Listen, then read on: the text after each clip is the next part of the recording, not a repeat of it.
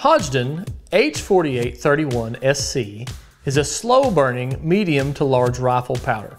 Works well in many Magnum rifle calibers. It's an extruded powder, but it's quite a bit shorter than its counterpart, Hodgdon H4831. You don't want to interchange the load data between the two. It's very important that you don't. But if you have a cartridge and you're having to compress loads to fit a full load of H4831 in, then you can always find the data for H4831SC.